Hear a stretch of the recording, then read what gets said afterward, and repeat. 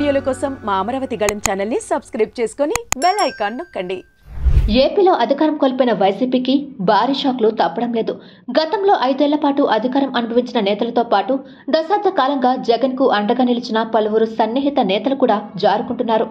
ఇందులో భాగంగా ఇప్పటికే మోపిదేవి వెంకటరమణ వైసీపీకి ఆ పార్టీ ఇచ్చిన రాజ్యసభ ఎంపీ పదవికి కూడా గుడ్ బై చెప్పేశారు.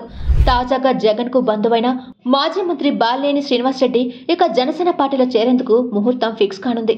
అదే సమయంలో జగ్గాయపేట మాజీ ఎమ్మెల్యే జగన్కు వైఎస్ కుటుంబానికి కూడా సన్నిహితుడిగా పేరున్న సామ్నేని ఉదయ్ సైతం వైసీపీని వీడేందుకు సిద్ధమవుతున్నారు.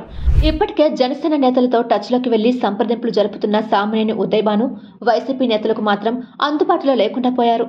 దీంతో ఆయన కూడా జనసేనలో చేరేందుకు రంగం సిద్ధం చేసుకుంటున్నట్లు తేలిపోయింది.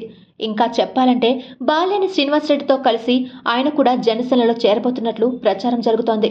ఈ ఆదివారమే అంటే ఇరవై రెండవ తేదీన పవన్ కలిసేందుకు ఉదయ్ భాను ఏర్పాట్లు చేసుకున్నారు. ఆయన పార్టీలో చేరితే ఎమ్మెల్సీ పదవి కేటాయించేందుకు జనసేన హామీ ఇచ్చింది. దీంతో ఉదయ్ భాను ఏ క్షణంలోనైనా వైసీపీకి గుడ్ బై చెప్పే అవకాశాలు కనిపిస్తున్నాయని రాజకీయ పరిశీలకులు అంటున్నారు.